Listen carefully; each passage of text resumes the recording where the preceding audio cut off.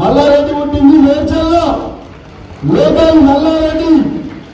జంగయ్య గారు నేను ఇంకోటి చెప్తున్నా మిమ్మల్ని మా మంత్రి గారు కూడా బోసగడతారు అయ్యో పాపం ఆయన ఓడిపోతే మేము నడుపుకుంటున్నాడు ఎట్లా భాస్కర్ ఆయన ఎట్లా చేద్దాము పాపం ఆయన బతికించుకుందాం మన కార్యకర్త కదా ఆయన. ఆయన కాపాడుకుందాం మెడ నడుపుకుందాం చెప్పుతారా అని నాకు చెప్తా ఉన్నారు అటువంటి మనిషి మా మంత్రి మల్లారెడ్డి గారు.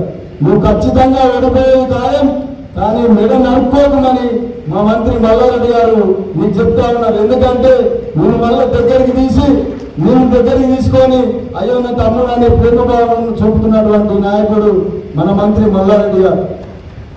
నేను ఇంకో మాట చెప్తున్నా సంజయ్ గారు. మీరు ఎలక్షన్ తర్వాత మల్లారెడ్డి గారికి రెండు పాడి గేదెలు ఇప్పిస్తున్నావు.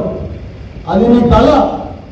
నేనే రెడీ చేసిన గుజరాత్ నుంచి తెచ్చిన దీపావళికి రెండు దున్నపోతలు ఇస్తా నీకు.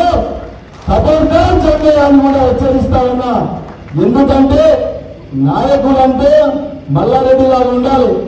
మస్తు మంది చాలా మంది ఉన్నారు. అంబానీ లాగా ఉన్నారు. డబ్బులు సంపాదించిన వాళ్ళు. కానీ ఎవరికి ఆ గుణం రాలే. మల్లారెడ్డి గారు మనం అందరం చూస్తూ ఉన్నాం. ఏ నాయకుడు కూడా సొంత డబ్బులతోటి నియోజకవర్గాన్ని అభివృద్ధి చేయలే. ఒక హాస్పిటల్ పోయినా సపోజ్ నేనే పోయినా హాస్పిటల్లో.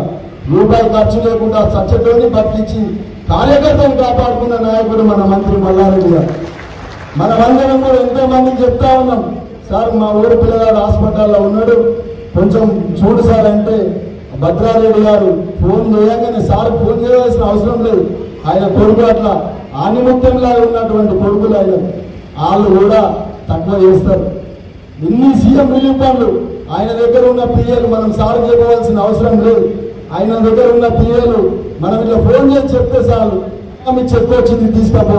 అన్నా మీ పని అయింది తీసుకపో అని చెప్పేసినటువంటి పిఏలు కూడా ఆయన దగ్గర ఉన్నారు. చెప్పుకుంటా పోతే చాలా ఉన్నాయి. సార్ రెండు నిమిషాలు భయపడితే భయం అవుతుంది అలాంటి నాయకుడు మన మల్లారెడ్డి గారు మనమందరం కంకణబద్దులై ఈరోజు మరి రేపటి నుండి ప్రతి ఇంటికి బొట్టు కార్యక్రమం తీసుకుపోయి మరి మనం చేస్తున్నటువంటి అభివృద్ధి మనం